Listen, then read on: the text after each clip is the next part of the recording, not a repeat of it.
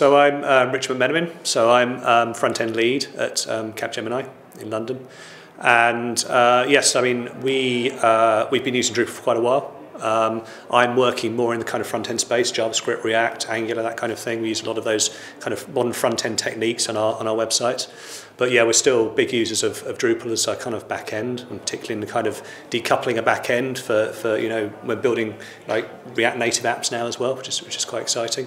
And yeah, so we're um, sponsoring Drupal Camp London, I think, for probably second time, maybe.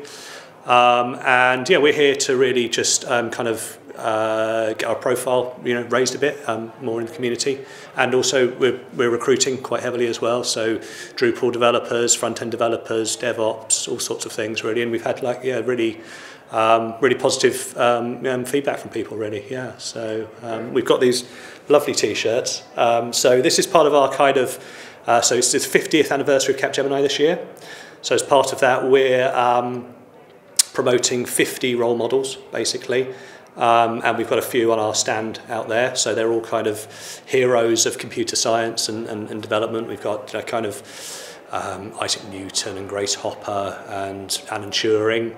And um, this is um, Ada Lovelace, who's obviously one of the you know first female um, computer scientist, essentially, and, and one of the very earliest programs in computer scientists.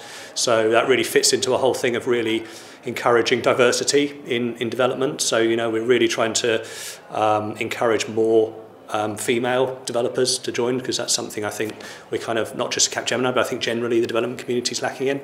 Um, so we're really looking to, to, to kind of promote that side of things as well. And um, yes, we've got some of our other role models up on our, up on our stand, and we're kind of looking to add those more as we go through the year. And we've also got our, our scribe, Livia, who's kind of um, you know, mapping out the progress of the, of the conference through the day. Um, so yeah, we've got some of our role models, and people can suggest their own role models um, on the board as well. Um, and uh, anyone they find inspiring uh, which is nice. And then we've just got our, our faces up there and, and, and kind of the progress of, of what's happening through the, through the day. So yeah, that's it's working really nicely for us. Yes.